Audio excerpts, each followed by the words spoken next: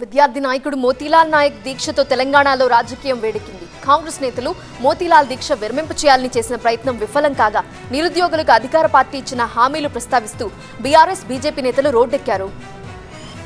నిరుద్యోగుల డిమాండ్లు పరిష్కరించాలని విద్యార్థి నాయకుడు మోతీలాల్ నాయక్ చేపట్టిన ఆమరణ నిరాహార దీక్ష గాంధీ ఆసుపత్రిలో కొనసాగుతోంది. మోతీలాల్ను పరామర్శించేందుకు ఆసుపత్రికి వచ్చిన కాంగ్రెస్ ఎమ్మెల్సీ బల్మూరి వెంకట్ను నిరుద్యోగులు అడ్డుకునేందుకు ప్రయత్నించారు. మోతీలాల్ నాయక్తో బల్మూరి వెంకట్ జరిపిన చర్చలు విఫలమయ్యాయని నిరుద్యోగ నాయకులు ప్రకటించారు. గ్రూప్స్ అభ్యర్థుల డిమాండ్లు పరిష్కరించేందుకు ప్రభుత్వం సిద్ధంగా ఉందన్నారు బల్మూరి వెంకట్. బీఆర్ఎస్ బీజేపీ నేతల ట్రాప్లో నిరుద్యోగులు పడొద్దని సూచించారు. నిరుద్యోగుల ఆశలు నెరవేర్చేందుకే కాంగ్రెస్ అధికారంలోకి వచ్చిందని స్పష్టం చేశారు. ఈరోజు ఏదైతే మోతీలాల్ నాయక్ ఈ అంశాలపైన చేస్తుండో వెళ్ళి మన ప్రభుత్వం మన సమస్యల్ని పరిష్కరించుకున్నామని ఉద్దేశంతో వెళ్ళి వారితో మాట్లాడడం జరిగింది. వారికి కూడా ఎక్స్ప్లెయిన్ చేయడం జరిగింది.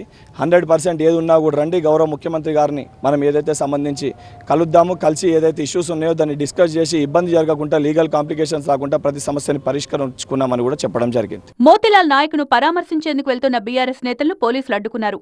ఎమ్మెల్యే పల్లా రాజేశ్వరరెడ్డితో పాటు బీఆర్ఎస్ నేతలను పోలీసులు అదుపులోకి తీసుకున్నారు.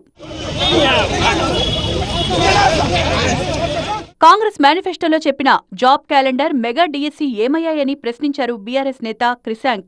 మోతీలాల్కు ఏదైనా జరిగితే కాంగ్రెస్దే బాధ్యతన్నారు. క్రెడిట్ కోసమే రేవంత్ రెడ్డి ఆరాటమన్న క్రిశాంక్ పీసీసీ అంటే పెద్ద క్రెడిట్ చోరని విమర్శించారు. ఏమైంది మీ మెగా డిఎస్సి? ఏమైంది మీ జాబ్ క్యాలెండర్?